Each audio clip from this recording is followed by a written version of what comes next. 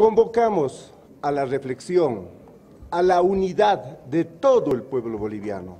en todas sus clases sociales, en todos sus estratos y en cada uno de los rincones de nuestro querido país. No es cierto que estemos discriminando el voto de los campesinos.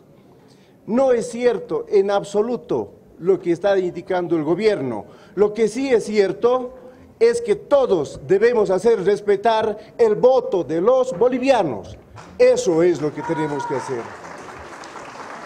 Los cabildos en los diferentes departamentos, el cabildo en Tarija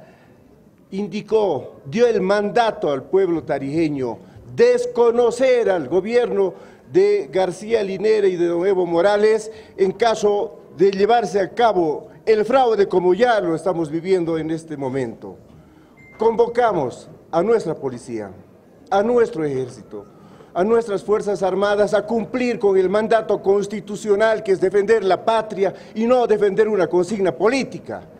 Esa es la tarea de nuestras fuerzas del orden y como tarijeños y como bolivianos simplemente nos vamos a pegar a la constitución política del Estado que dice que debemos conocer, cumplir y hacer cumplir la constitución y no nos estamos alejando en ningún momento de, ese mandato que tenemos cada uno de los ciudadanos. Por lo tanto, vamos a seguir haciendo respetar el voto y convocamos a la población boliviana a estar presentes mañana en el Gran Cabildo Nacional, acá en la ciudad de La Paz, porque este gobierno nos va a escuchar, sí o sí nos va a escuchar, porque vamos a demandar también a nivel internacional para que los gobiernos, amigos, para que los gobiernos eh,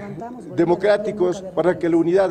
europea, para que la comunidad europea, para que la OEA ponga sus ojos y haga respetar el voto de los bolivianos, haga respetar la democracia, porque los bolivianos queremos vivir en libertad y eso significa mantener la democracia plena.